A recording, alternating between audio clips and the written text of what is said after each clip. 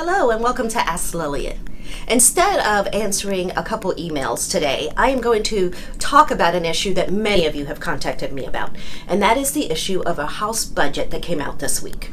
I am very proud of this budget because it really puts families first.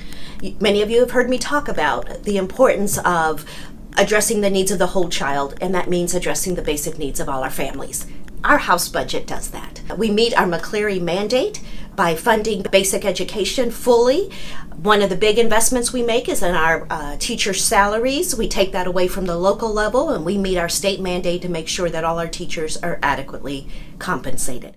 The other area I'm very proud of is our higher education area. We freeze tuition. Higher education rates were skyrocketing. We put a moratorium on that last session. This year we continue that. But we don't just continue it, we backfill those dollars to our higher education institutions. In our budget, we also fund the new Department of Children and Family Services, bringing together a collaborative effort to meet the needs of our children. Instead of having it fragmented throughout different agencies, we bring in juvenile justice, we're going to bring in mental health, we bring in foster care. Services that our children need under one umbrella so that we don't have all these silos, but we're providing efficient and effective services for our children and families. Another important area of this budget is our investment in mental health.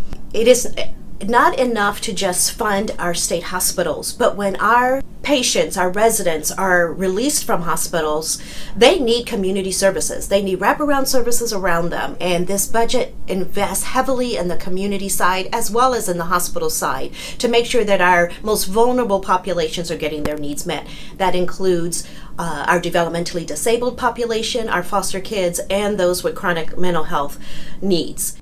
I am very proud that this budget reflects our values of putting families first and protecting our most vulnerable in the state of Washington. I am very excited to introduce my new legislative assistant. He comes from Western Washington University. His name is Israel Rios. Israel, welcome. Thank you. Israel, can you tell them a little bit about what you majored in and why you wanted this position? Yeah, I majored in economics and political science, and political science and position go together. I wanted to learn about the process and how we make changes in our state. And I've been following your work for a long time, and I saw this opportunity and got excited as um, an opportunity to join you and meet your goals for a better Washington.